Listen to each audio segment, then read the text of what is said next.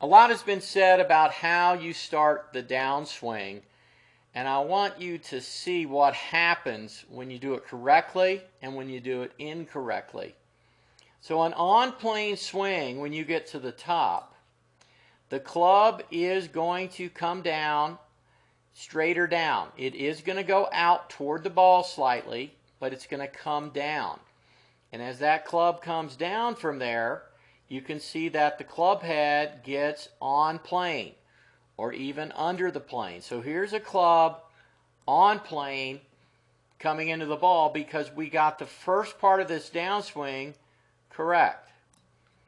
On the right, what I'm going to do from here is now I'm going to turn my chest early, which is a mistake, and that will get the club to go out too much and get the shaft too steep. So now from here, if we watch this go out, there's the club out, and look at the difference of the shaft. So here's a shaft that is too steep, 73 degrees, versus a shaft that's 47. And granted, I'm not as far down here, but I'll, I'll bring my left arm and hands down a little further here on the right to compare this. Watch what happens, though, when we get too steep. The club starts shallowing to get on plane because the club's got to get on plane to hit the golf ball. So here the club comes down, and these are forces and torques working on this. Not only is it flattening, but the face is wide open.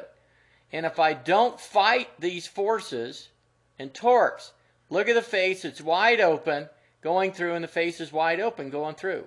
That's what happens. That's why people slice. Now, I didn't turn my body through or, or swing left, but a lot of slicers swing left with that action with the face wide open.